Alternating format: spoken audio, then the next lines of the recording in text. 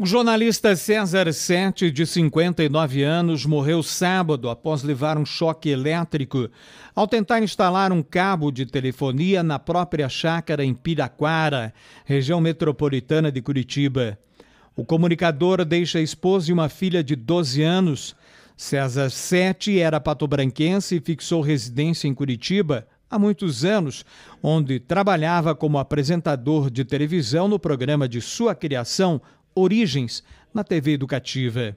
Acidentes como este, que vitimou César Sete, cresceram 13% no ano passado, quando morreram, segundo a Abracopel, 674 pessoas em 986 acidentes no país.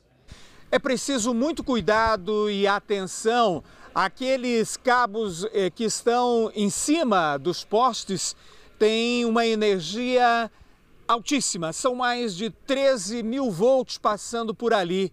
E nesse caso, não é preciso necessariamente encostar nos fios. O entorno, a cerca de um metro, um metro e meio, já tem um campo magnético que pode atrair a barra de ferro ou mesmo a pessoa que passar ali por perto, gerando um acidente geralmente fatal. Nós fomos conversar com o engenheiro eletricista Pedro Tavares, que trabalha na Pato Oeste Solar.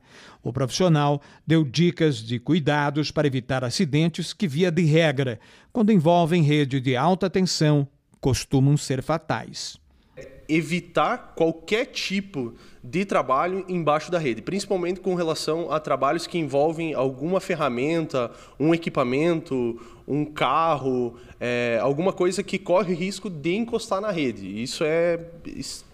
Quanto mais puder evitar esse tipo de trabalho, é essencial. É, o pintor, às vezes, está fazendo uma, uma pintura de uma fachada de uma edificação, evita chegar próximo à rede, vê que apresenta riscos, você já se distancia. A TV Sudoeste expressa suas condolências à família do jornalista César Sete.